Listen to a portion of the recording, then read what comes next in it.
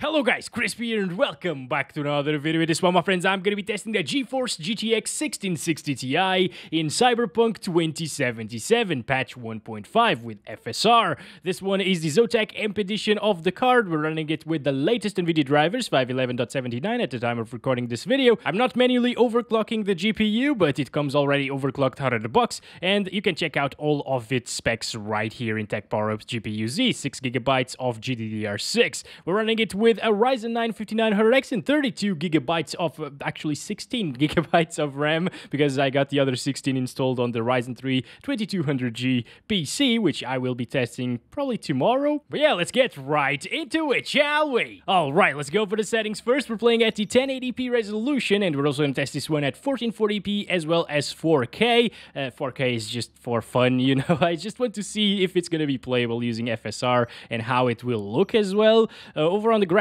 settings, we're playing using the medium settings preset and high textures. The textures on high don't really consume that much VRAM, so you're fine leaving them on high with 6 gigabytes. FSR is turned off at the moment. Gameplay settings are set to these right here, and it seems like it is looking pretty damn good here at 1080p medium settings, native resolution. We're getting above 60 FPS, actually well above 60 FPS. I, I expected it to drop a bit here, not gonna lie. Um, but, however, if you get into very intensive areas, like the one that we're approaching right now, yeah, it does drop from 60 as expected. So it's not really by much, honestly. I, I really expected it to be in the 50s here, yet we're seeing like 60s, lower 60s, mid 60s. This is a pretty intensive area, and uh, it's pretty surprising to me that a 1660 Ti is performing this well. I'm also glad to see that the stutters in this game are no more. And if you're wondering, you should be getting the same FPS if you pair this card with like a Ryzen 5 3600 or 9 i5-10400F, so you don't really need a very beefy CPU to get the most out of it. You can see that the CPU utilization is not really that high on the 5900X, and of course 16 gigabytes is plenty. Hello, kind sir, I'm just gonna put you to sleep, okay? Yes, you're sleeping now. Uh, and uh, let's get this car. This looks much better. So yeah, maybe get a thumbnail with this. No? Alright, anyways, I think that's it for medium settings. 69 FPS on average, right there. Beautiful stuff. It's super playable, and honestly, if there wasn't FSR now in this game, I would probably stick to the medium settings at 1080p, because, again, it looks great and it performs pretty damn well. Now, FSR set to ultra quality. We're getting closer to 100. Oh my gosh, it was in the 90s right there, but what a massive improvement here in FPS and the visuals still look pretty damn good. You can tell that there is a little bit more aliasing around some edges, like those lights for example, um, but it doesn't look bad whatsoever. It, it, it in, in a 1080p monitor, guys, I think it would look pretty close to native 1080p resolution, so feel free to use FSR in this game, I really recommend it. Uh, of course, I've already seen the, the, the goodness that this makes with the 1050 Ti. It went from unplayable at 1080p low and drops below uh, 30 FPS to completely playable at like 40 frames per second or so. Yeah, this is pretty damn good, guys. I love this technology by AMD, and uh, this is also a pretty intensive uh, street right here. It's only dropping into the 70s. Wow, Okay, so if you're looking for that 60 plus FPS experience all of the time with the 1660 Ti in Cyberpunk 2077 with still pretty decent graphics, you can have it using FSR Ultra Quality. Jeez, okay, okay. All right, yeah, this is pretty good to know, guys. It is really, really nice. This is a game changer, basically, in this game. Uh, we should be able to, to play on high settings at 1080p, honestly, and uh, still maintain 60 plus using some FSR, of course. So still set to ultra quality right there. And I'm just gonna disable motion blur here. Okay, so this is high settings at ultra quality FSR. Let's just uh, ride around or drive right. this is not Red Dead Redemption 2, Crisp. is not Roach, unfortunately. Or maybe it is a futuristic Roach. I, I don't know. Look at this. It's looking gorgeous, guys. This game is really fantastic when it comes to the looks. Also, you... Get out! Get out! Get out! Okay.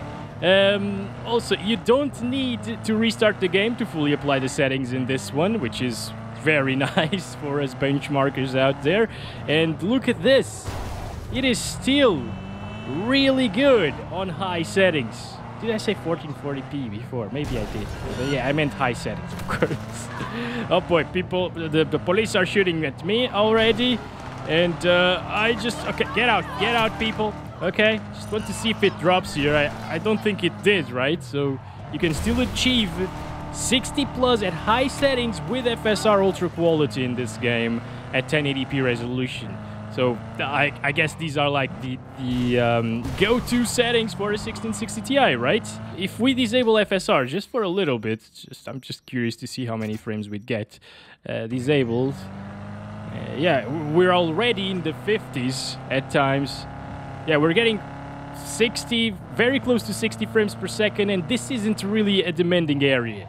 If I went to a very intensive area like the other one that we were seeing before, it would probably drop into the lower 50s here on high settings. Still a pretty playable experience, don't get me wrong, especially for a single player title, but I mean, if I can have 60 plus all of the time with a very minor decrease in image quality, I will take it.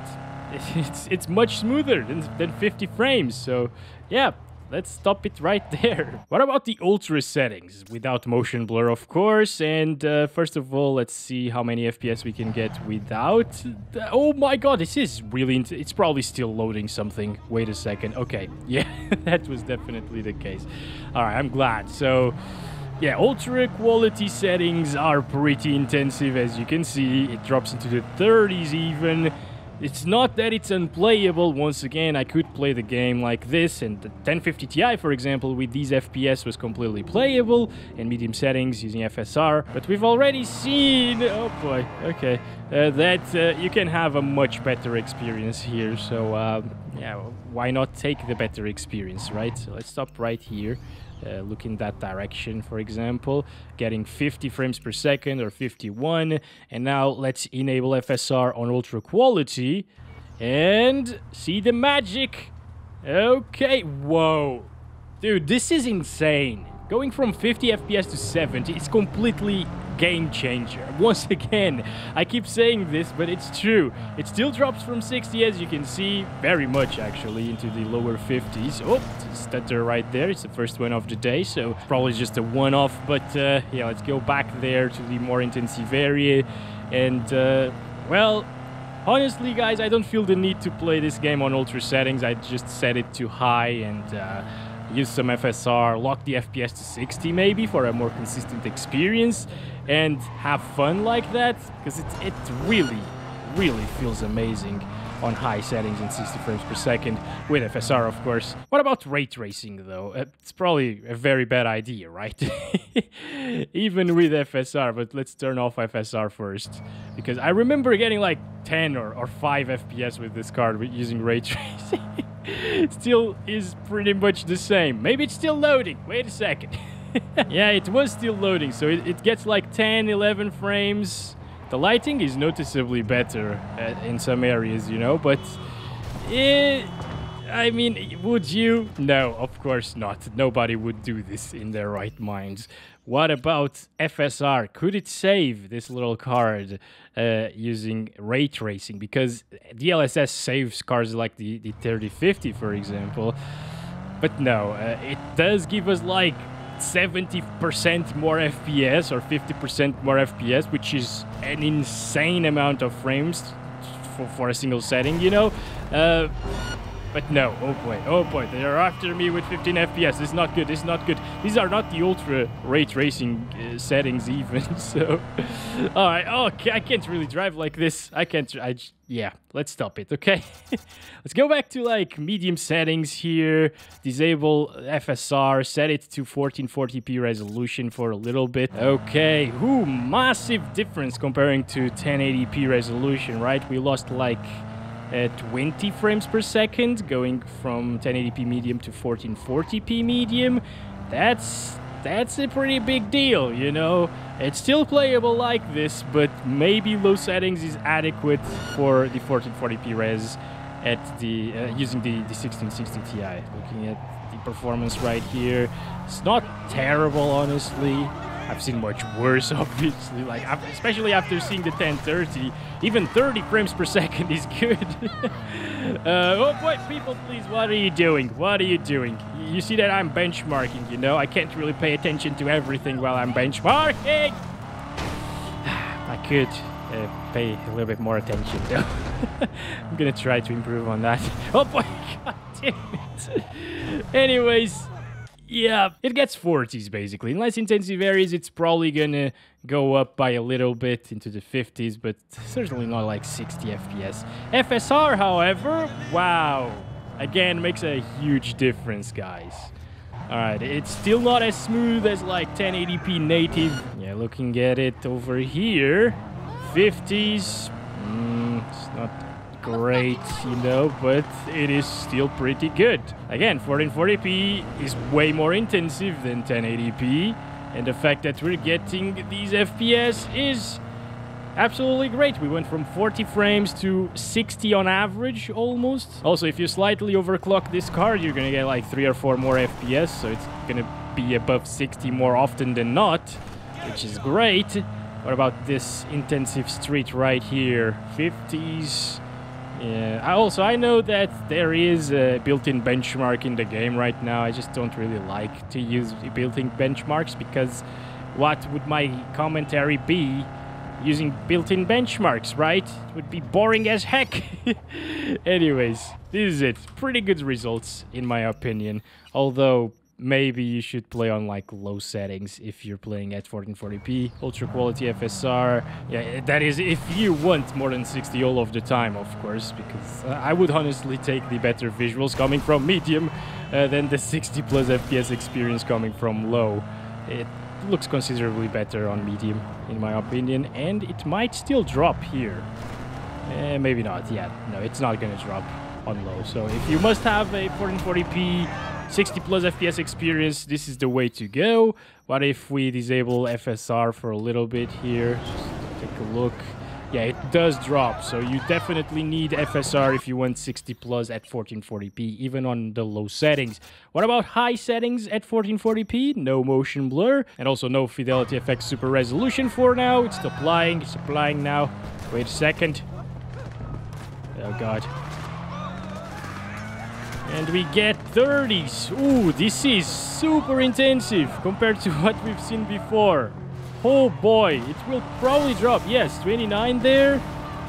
So it's not good anymore, I believe. I would drop God damn it. Okay. Also, explosions aren't really intensive, as you could see. yeah, if you if you slightly overclock this card, I guess you, you can have 30 plus all of the time on high or a locked 30 FPS experience, you know, if you just lock the FPS to 30, it will feel okay, like last gen consoles, but 1660 Ti, I would want a little bit better of an experience than the last gen consoles, especially in this game. And you do get that in terms of visuals, of course. I'm just talking about frame rates here.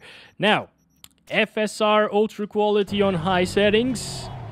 And uh, we're getting higher 40s or mid 40s around here. It's pretty damn good now. Wow. What a massive difference. Once again, it's like 50 percent more FPS that you get by enabling FSR. And the, the render resolution is not really that much lower than your native resolution. And it, it looks really great. It looks really detailed still at 1440p. So definitely use some FSR with this card here. You can even play on high settings 1440p if you don't mind less than 60. 60 frames! It actually reaches 60 sometimes in less intensive areas. This is great actually. It's not too bad. 3840 by 2160. Low settings, no FSR for now, just to see how it performs like this. Let's wait a little bit for everything to apply. And we're getting like 20s here. This is pretty bad. It's more intensive than um, 1440p Ultra with FSR using 4K resolution on low. This is... Yeah, it's terrible, basically. Not really playable, honestly, guys. Let's uh, enable this on ultra quality and it is looking really good. I am also using a native 4K monitor right now. I can definitely tell you that it looks pretty impressive, this upscaling tech from AMD. Looking really sharp and detailed still. God damn it, just leave me alone! Leave me the heck alone! Stop doing that! Oh boy, this car is also gonna explode. Yep, it's on fire already! Ah! You killed yourselves as well. The explosion was so close to you. Okay, anyways, in terms of visuals, it looks good, but it's still low settings, although it looks sharp and detailed. Uh, there is no point really in playing at 4K in my opinion. And you do get way less than 60 FPS and you get even into the um, 30s, so it's not very good. Quality FSR, well, it's starting to look a little bit closer to 1440p, but I can tell that it's still a little bit better though.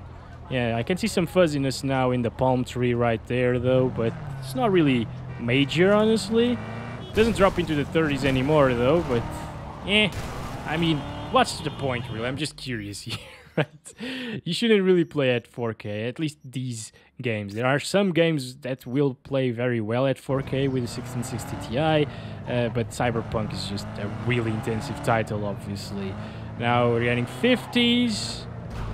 It seems like we get like 5 to 10 more FPS every time we drop a, an FSR setting, which is pretty impressive, honestly. It still looks okay like this, although I can definitely tell that it's not at native resolution right now, but it's not very far off, honestly. It looks alright. I could still play like this perfectly fine.